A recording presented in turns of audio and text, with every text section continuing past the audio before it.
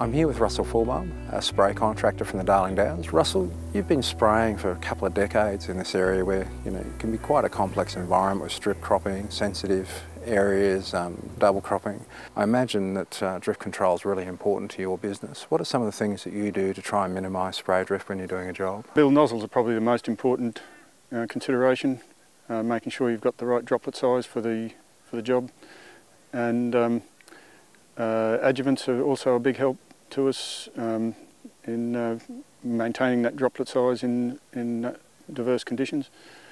And a good relationship with your agronomist that you can modify the, the recommendation to suit the, the conditions and the, the location. So all those things together and, and, and basically being prepared to wait for good conditions to do the job. Um, you know, sometimes you might have to roll your swag out and, um, and camp at the paddock or, or um, uh, be there at the right time, uh, monitoring the, the, weather conditions from your local weather stations or whatever, and, and picking a time that is going to be good rather than a time that, that might suit you.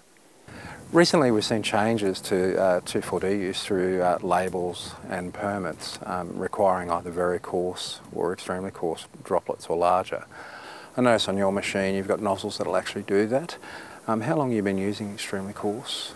Yes, we've been using um, TTIs on a, on a um, reasonably regular basis now for probably four or five years.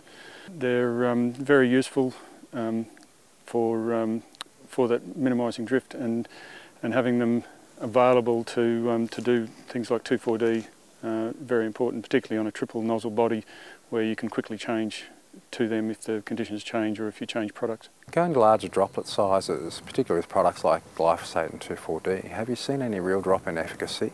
No, not not really. The, um, the main thing is to increase your water rates if you're um, going to that coarser droplet. Um, and yeah, be prepared to um, possibly reduce your travel speed slightly and um, those sort of things will all help uh, still get a good job. Yeah, so you mentioned that relationship with the agronomist, higher water rates, the right sort of nozzles and travel speed and obviously conditions.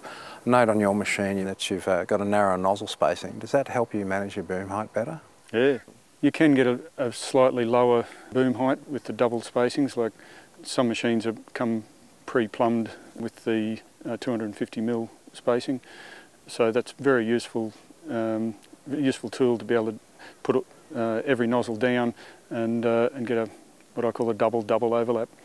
And you find that boom height has an effect on the amount of drift you get out of the machine? Most definitely. It's, it's very, um, very critical to maintain that um, that lower boom height if you're trying to reduce your, your off-target movement. In talking to Russell, we've heard a number of things about ways that he manages and reduces spray drift. Some of those things were obviously the nozzle selection and making sure that you've got the, the right droplet size to match the label or, or permit requirements. But in moving to larger droplets, um, his experience is that you don't lose efficacy provided your water volume's sufficient. And also that relationship with his advisor and talking about the situations. Other things in the paddock such as uh, boom height and travel speed all add to the ability to get a good job and minimise the amount of drift you're likely to get.